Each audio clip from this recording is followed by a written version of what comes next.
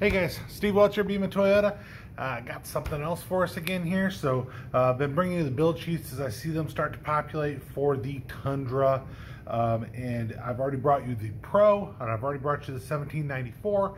Now I've just seen the first Platinum that has uh, allocated anywhere in the country. So um, wanted to bring you the information on the first Platinum uh, hybrid iForce Max Toyota Tundra 2022 model. Um, def definitely, guys, let me know what you think. But we're going to do this the same way we've done before. So there is absolutely no surprise in the way that I'm going to do this. So you can kind of see I've got a little, we'll move this around a little bit. All right, so what I'm going to do is I'm going to show you this right here. So obviously 2022 Tundra Platinum hybrid vehicle. Crew Max. Now this one's got the six and a half foot bed, so you can have either the five and a half or the six and a half foot bed, right?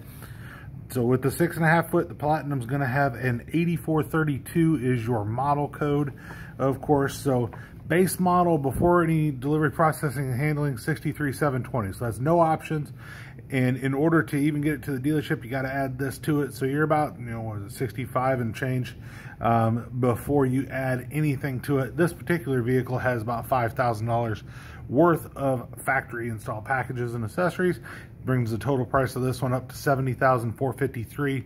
Now I will say that there were two of them that were in there that were allocated. The other one was 69.9. So realistically speaking, you're going to have some type of installed packages on there and you're going to most likely have somewhere right around that $70,000 price tag on your Platinum in the iForce Max.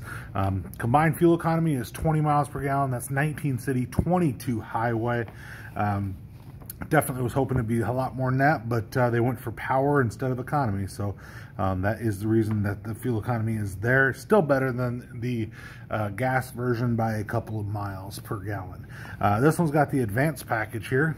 Uh, it's got load leveling, rear height control, air suspension, the adaptable various variable suspension here, and a 10 inch color heads up display. That is a really cool package right there for you guys. Um, then you see, and you'll see that 1645 is the cost on that package. Then you can see below there, power running boards and a power bed step. So when you have the power running boards, you do get the bed step with it. Uh, 1350 is your price on that all weather floor liners. You're probably gonna have floor liners on about everything. It's 169 bucks. This one's got the hard, hard tonneau cover. A lot of people ask me to do the videos on the hard tonneau cover. I will do that uh, as soon as I got one. Um, but uh, I, I will do that for you guys so you guys can take a look at that. All right, so then the other option that was on this one, if we take a look down there, was that spray-on bed liner. I did a video so you can see what the difference is on the spray-in bed liner as opposed to leaving it without that. So you guys can take a look at that because you do have your composite bed now. Um, so definitely take a look at that and see what you think. So going to kind of go down into your mechanical and your performance here. So your engine is your iForce Max 3.5 liter twin turbo V6 hybrid. 437 horsepower at 5,200 RPM. 583 foot-pounds of torque at 2,400 RPMs. This thing's a monster for towing, guys. Uh, twin turbochargers, of course. Your ignition system uh, has a conventional 12-volt starter. Uh, it's rated as a low-emissions vehicle, so um, most hybrid lanes that I see say that, or, hybrid, um, uh, lanes that I see say that hybrids and low emissions vehicles are allowed there, so you can drive your Tundra most likely in a hybrid lane. Definitely check your local regulations for that, of course. So uh, has the 288 volt sealed nickel metal hydride battery. Um, and just above there, it's uh, electric motor power is 48 horsepower that it adds from the electric motor. 10-speed uh, transmission, so you have the same transmission on both of the hybrid and the non-hybrids, or the iForce Max or non. Um, then your sequential shift mode, uphill, downhill shift logic, your suspension. Um, this is on both the hybrid and non. Your independent double wishbone suspension. Um, it is a game changer for Toyota. So um, it's got your coil spring, multi-link rear suspension. That is just a game changer, guys. Um, it used to have the leaf springs back there, and, and this rides so much better than what the old one used to. And the old one, to be quite honest, was not that bad, just so you know. Um, brakes, power system, ventilated 13.9 inch front brakes with opposed dual piston brake calipers. Like I said before on my other videos, that means you have four pistons that are opposing each other. So, so two on either side and it makes for better braking. It's it's more solid. When you drive this truck, you'll see why this one brakes a whole lot better than most everything else you're going to drive because uh, of those opposed dual piston brake calipers there. Um, and on the back, it's a 13.6 rear disc brake with just the single piston. Obviously, most of your braking is done by the front brakes. Uh, electronic parking brake, so it'll turn on turn on or turn off itself for you. Your ultra high strength steel cabin construction with your aluminum hood and front door panels. That's for weight, guys. so That keeps you a little bit lighter. Um, your um, body frame active grille shutters, uh, towing. You have your integrated brake controller, um, your multi-informational display screen, trailer brake type, gain, manual trailer brake output controls. You can set this thing up and tell it what you're pulling and it will know. So um, it's really cool. So trailer sway control, so it'll help keep your trailer from swaying. Your steering wheel turns. So lock to lock is 3.4. That means that you turn the steering wheel 3.4 inches from one side where you turn all the way to the left 3.4 turns will get you all the way to the right. That's uh, the distance of your steering wheel. Uh, valve train, you have 24 point or 24 valve dual overhead cam, and you can look at all of that. That's right there about that. Your fuel system, direct inject and port inject, which is so important for Toyota. to Do keep your engine clean and and running at max. Uh, max efficiency, of course. Your exhaust system is your stainless steel exhaust system. You have your hybrid electric motor is a parallel hybrid system. Uh, what does that mean? Pretty much that it's in line with your transmission. It's not a separate system like a RAV4 or something like that. It's in line with the with the system. Your electric motor torque gives you 184 foot-pounds of uh, torque from the electric motor. You got your normal, eco, and sport driving modes. Four wheel demand part time four wheel drive. It can turn on if it needs to. Um, uh, automatic limited slip differential. A lot of people are uh, really wanting that. Um, you have electric power steering with the power assisted rack and pinion. That helps with your lane departures, uh, your assist mode that's on there, which you normally would not get in a truck. Uh, brakes, electronically controlled braking system with your regenerative braking. Once again, that is a game changer for a Tundra. You're going to be able to grab back some power uh, from your braking system. So to help, you know, if you drive it right, you can probably get a little bit better than advertised. Um, I would guess like most hybrids tend to. Um, you have a tow hitch, you have a class four tow hitch, receiver wiring harness with your seven uh, seven pin and your four pin uh, connectors on there. Tow haul driving mode, of course. Uh, off-road uh, engine and body undercovers. So basically, if you decide to take your $70,000 truck off-road, uh, you're going to have a little bit of protection on the bottom there, of course. Um, so you're turning circle diameter curb to curb, so 50 feet. So if you basically, that's a good way to put it. If you're uh, if you have a curb and it's a 50 foot curb, you know, and that's uh, you're going from one side to the other, you should be able to make it. Um, weight rating 7780. Of course, equipment can change that a little bit, but that is your uh, weight rating on the vehicle. All right, so your exterior. So we're gonna, gonna look at this. All right, so this shows your standard bed. Of course, that is with the long beds. You can have either a long or a short bed, but if you have the long bed, then obviously the 6.5 is standard. Your deck rail system, so you can have all your adjustable tie downs. Um, your tailgate release bump switch located on your driver's side tail light. I did a video on that showing you guys how that drops it. Really cool feature to uh, to have. You can also release that tailgate from your key. Uh, 20 inch dark gray painted alloy wheels, your LED fog lights, LED center high mount stoplight, of course, rain sensing washer linked variable and intermittent wipers. It can sense raindrops on your windshield and turn on for you guys.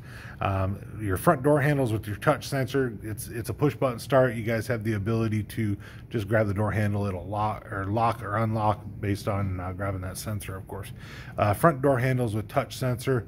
Um, that's what I was just talking about there. Your gloss black painted A-pillar, uh, black platinum door badge garnish window moldings, uh, tailgate spoiler, over fenders, color keyed door handles, and mirror caps, and your 4x4 tailgate badge. All right. Is that enough for you yet? Well, there's more.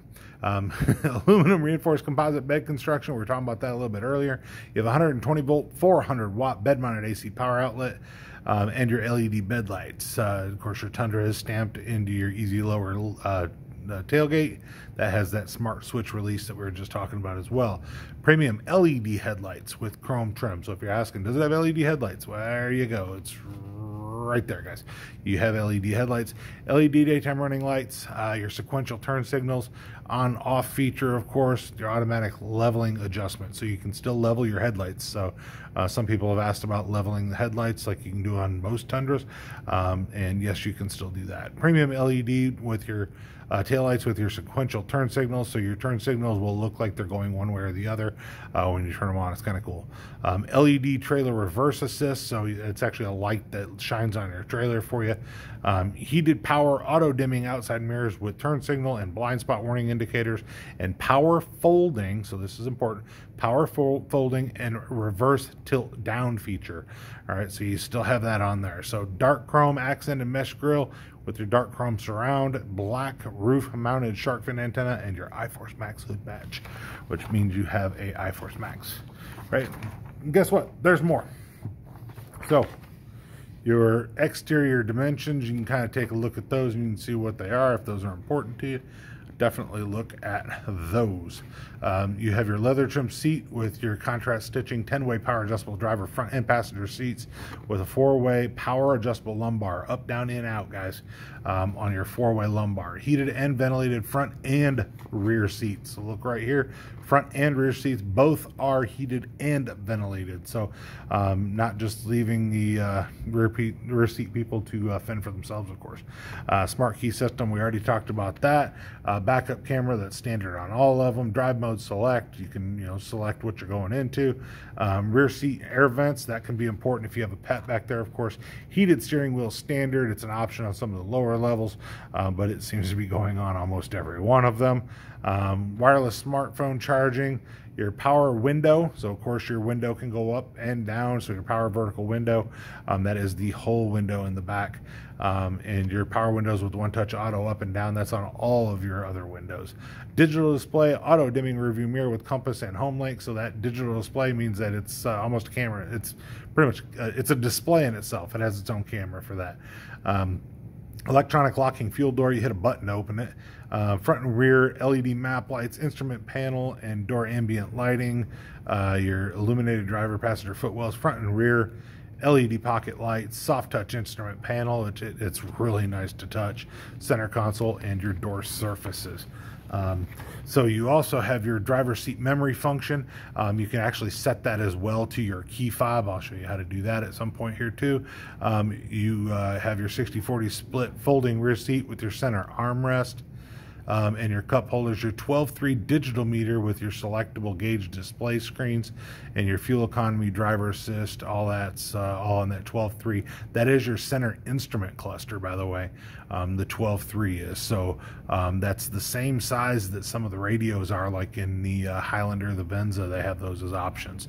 Uh, panoramic view monitor with the cameras um, dual zone automatic climate control with air filtration and individual temperature settings uh, for the driver and front passenger. Um, your leather trim power tilt telescoping steering wheel with your phone audio display and infotainment and your driver assist controls. Uh, your fixed center console, of course, with gated shift levers. Some people ask what gated shift lever is. That means that you kind of move it off to the side to move it down, and it has different spots that it falls into for you. Um, but uh, four cup holder, center storage bin, your 120 volt, 400 watt. We already talked about that. That's also in your rear seat, though, uh, not just in the bed uh, for your AC power outlet. Uh, power tilt slide panoramic moonroof with your power sunshade. So the panoramic moonroof is standard in this particular uh, vehicle. So um, actually, I think all your hybrids have it standard, to be quite honest with you. Uh, acoustic laminated windshield, um, rear door sunshades, overhead console, rear window control, sunglass storage, safety connect. Um, that's a really cool feature. Um, the front and rear assist grips, the illuminated center console storage bin, so you actually have an illuminated uh, center console. You can look down in there and see it. Glove box has a light too. Uh, platinum uh, instrument panel badge, so that's on your instrument panel, say platinum, and your leather shift knob. And I bet you thought that was all but it's not. So we're the audio media. You have your 14 inch. That's standard. There's not going to be the small one in this one. Um, you're only going to have the 14 inch multimedia in your Platinum 12 JBL speakers, subwoofer, amplifier, CarPlay, Android Auto, Sirius. Um, those are all standard on this. Then you also have your Safety Connect, uh, which is that push button. If you it has vehicle locator, it's got all kinds of stuff on there for you. Um, with your one year trial, Remote Connect, which is where you can remote start your car from your phone. Um, that has a year trial. Service Connect with a three year trial. Connect right to the service department. Tell you, hey, you've got service that you need.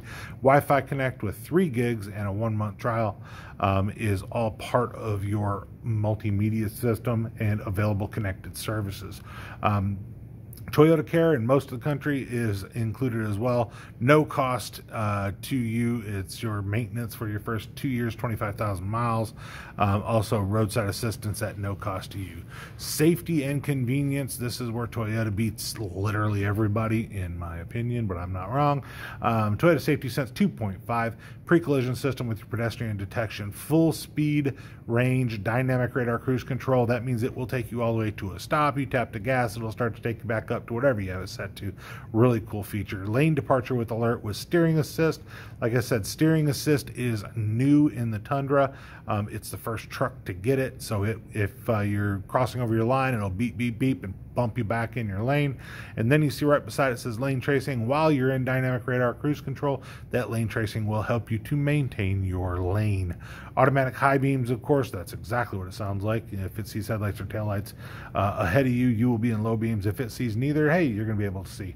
Um, just because, right? And then road sign assist, it will see uh, several road signs, including your speed limit sign, uh, stop, yield, do not enter. It will see all those signs. It will put them on the, on the dash. So if you look down, you say it says do not enter. Last time you pass with do not enter, you're probably going the wrong way. Um, front and rear parking braking assist with automatic braking, uh, or front and rear parking assist with automatic braking. So it have the beeps for you as you're getting closer to something. And if you just keep rolling into it, it's going to kind of tap them brakes for you so that uh, you don't roll into that pole or whatever it was. Um, eight total airbags, including driver passenger side knee airbags and uh, curtain airbags. Um, three point seat belts. That's that is what it is. It's been around for a while. Um, child protectant rear door locks, of course, with window lockout controls. You know that's been around for a while as well. Star safety system been around for a while. Hopefully you guys know what those are. Uh, check out some of my other videos if you don't. Hill start assist. It'll help you go up on a hill without rolling back. Blind spot mo monitor with rear cross traffic alert and trailer merge warning. So the new one on that one is trailer merge warning. So blind spot monitor is what it is. It's in the uh, mirrors that lights up when somebody's in your blind spot. Uh, as an assist, you should still look behind you, regardless of what some people say. You should still look behind you, even if your blind spot monitor is not on, just to make sure that it's still clear. But uh, that is definitely assist for some people.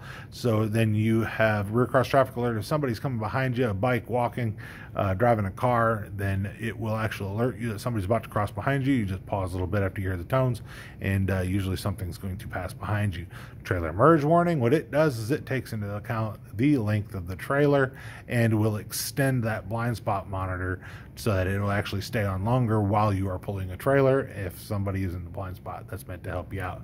All right, tire pressure monitor system, that's normal. Um, you know, driver and passenger active headrest. Um, they can go up and down too. Um, latch, obviously for uh, kids, you got several latch points. Um, safety connect, we already talked about safety connect and drive start control. Oh man, I, I know that's gotta that's gotta be it, right? And guess what?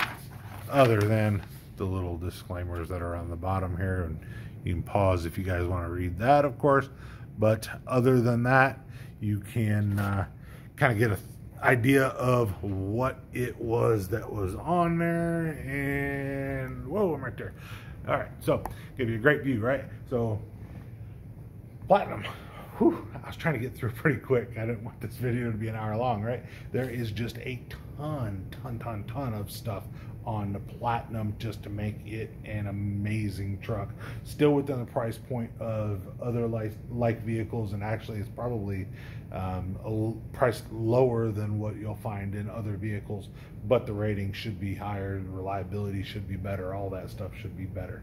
Um, like I said, this is the first Platinum that I saw anywhere in the country. It is not coming to me, and I'm sure it's pre-sold wherever it's at, but this is the first hybrid Tundra Platinum. Liking to bring you guys these build sheets because you guys keep asking me to, so hopefully this worked out for you, and you guys can uh, definitely tell me what you think, but this is the Platinum Toyota Tundra I-Force Max. Steve Welch, Beaman Toyota in Nashville. Hopefully you guys can like and subscribe. Hopefully you got a little benefit out of that, and uh, we had a little fun together. Steve Welch, Beaman Toyota. You guys have a good one. Talk to you soon.